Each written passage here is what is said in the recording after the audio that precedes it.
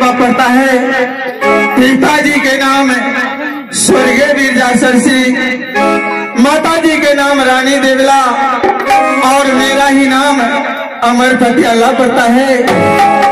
और मुझसे छोटा भाई का नाम दुनिया में कौन नहीं जानता है? जिनका नाम जंगीर उदल पड़ता है। लेकिन अफसोस की बात है, बबुआ जंगीर उदल गया किला बंदोगढ़ तोला लाने के लिए, लेकिन अभी तक लौट करके नहीं आया है। जितना राज होगा, और सिरसा से छतरी लोग गया वीर गया, कोई घूर करके अभी तक लौट के नहीं आया है।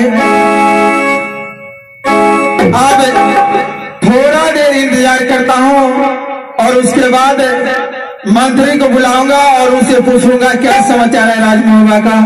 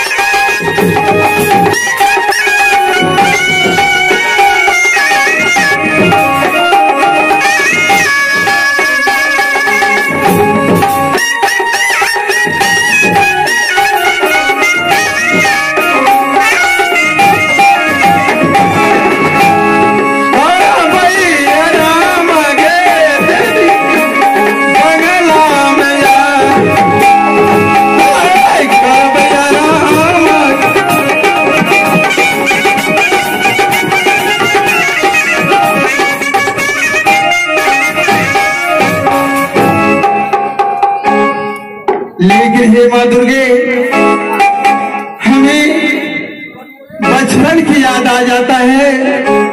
जब मेरा बबुआ जंगीर उदल, छह मास का था गोदी में। उसी टाइम काल जगरू मेरा पिताजी का सर मार लिया। लेकिन एक अवलों के अलावा कोई सर नहीं दिया।